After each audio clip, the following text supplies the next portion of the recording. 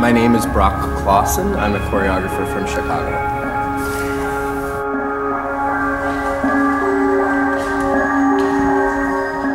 Lake Effect Snow is an eerie, theatrical, poetic narrative that I created about one man's journey through love. I was referencing um, old TV shows that I used to watch when I was a kid, staying up late at night. I wanted to tell it in the same as some of the short stories I would see on Twilight Zone or uh, Tales from the Crypt. I was always fascinated by um, those short stories and how interesting they were, and I wanted to see if I could take that and actually make it into a dance version on stage. It was an extra challenge for me. I knew I wanted to do something more theatrical for this work.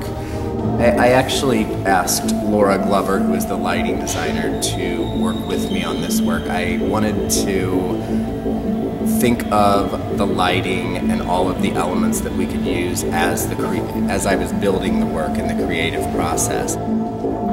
I absolutely love the Dance Kaleidoscope dancers. Uh, for the most part, it's still the same group as I worked with a couple of years ago, and I really chose Dance Kaleidoscope for the making of this piece because I knew I could take risks here and I knew they would be supported not just by the company um, and their incredible openness to create with me, but also David Hochoy, who um, has been has become a great friend and mentor and has been wonderful in the creative process of this work as well. So I knew that this was the place that I wanted to come back to make this work.